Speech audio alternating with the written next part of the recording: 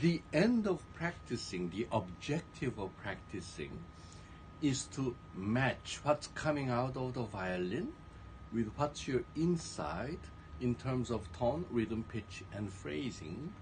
So you said the strongest part of the first phrase of the Bach G minor adagio, the first phrase there, then your duty is to make sure that that's what you do.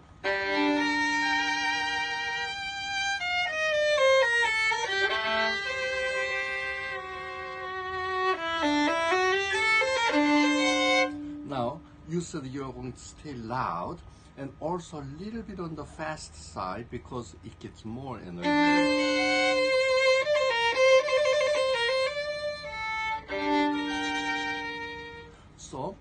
The end of practicing is when you play the way you said you would play in tone, rhythm, pitch, and phrasing. Now, you try.